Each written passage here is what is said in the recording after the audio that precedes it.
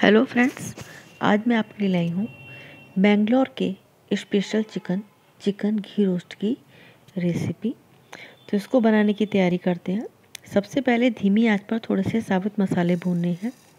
एक टीस्पून धनिया, चौथाई टीस्पून साबित काली मिर्च, तीन चौथाई चम्मच जीरा, आधा चम्मच सौंफ और 10 से 15 दाने जो हैं वो आपने मेथी के डालने हैं। इसमें चार लाल मिर्च भी डाली हैं, लेकिन यदि आप मिर्च कम खाते हैं तो आप एक या दो मिर्च का इस्तेमाल करेगा क्योंकि ये चिकन जो है थोड़ा सा तीखा बनता है।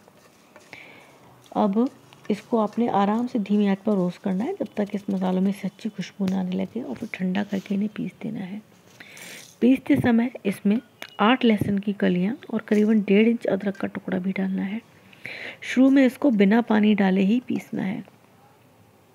एक बार जब ये थोड़ा सा इस तरह से पिस जाए, उसके बाद इसमें दो टीस्पून इमली का जो पानी होता है, वो डाला है। याद रखिएगा, इमली का पानी बहुत अधिक गाढ़ा ना हो, ना ही बहुत अधिक पतला हो, क्योंकि ये जो मिश्रण है, इसमें खटास, मिठास दोनों का ही सब का मेल होता है। थोड़ी सी कश्मीरी पाउडर, क्योंकि इससे रंगत बहुत अच्छी आएगी और एक सब्ज़ी को और तीखा नहीं करेगा और थोड़ा पानी डाल के पेस्ट बनाना है। और पेस्ट को बाद में एक बाउल में निकाल लेना है। इसमें जो है दो टेबल स्पून दही का भी मैंने इस्तेमाल किया है। अब भी इन दोनों को मिलाकर आपने बहुत अच्छे से इसका एक स्मूथ सा पेस्ट बना लेना है।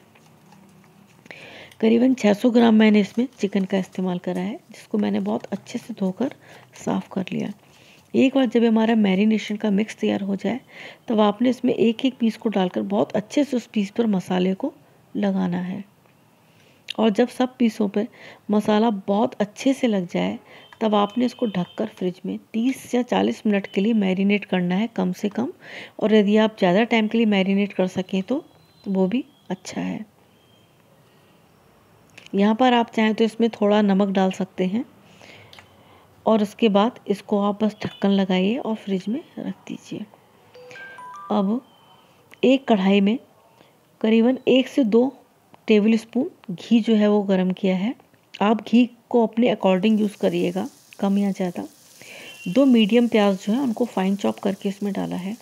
दो से तीन मिनट इसको अच्छे से चलाया। आज जो है, उसको मध्यम रखना है। एक बार जब ये भुनने पर आ जाए, तब इसमें डालना है आधा चम्मच हल्दी पाउडर और नमक स्वाद के अनुसार। इन दोनों को मिलाकर थोड़ी देर अच्छे से भूनना है। और उसके बाद वो जो चिकन के पीसेस मैरिनेशन के लिए रखे थे, उनको जो है इसमें एक एक करके डालना है।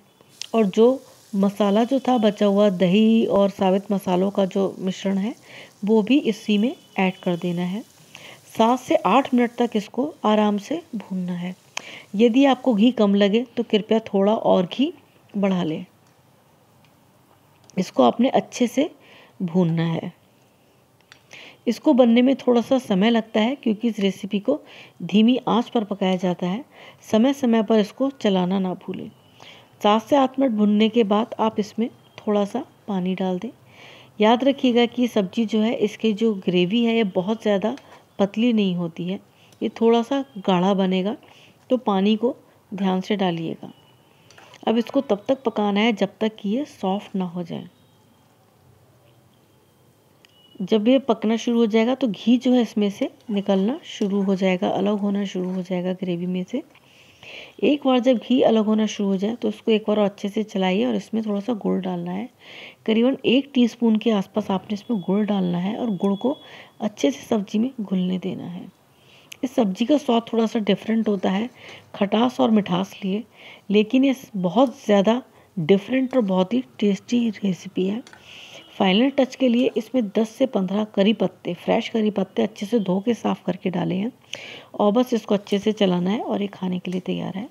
आप इसको रोटी, चावल या लच्छा पराठा के साथ खाइए। और यदि आपको रेसिपी पसंद आती है तो कमेंट बॉक्स में बताना मत भूलिएगा। ऐसी और रेसिपी के लिए प्लीज़ मेरे चैनल को लाइक सब्सक्राइब और शेयर करना भी मत भूलिएगा। वीडियो देखने के लिए आप सभी का बहुत बहुत थैंक यू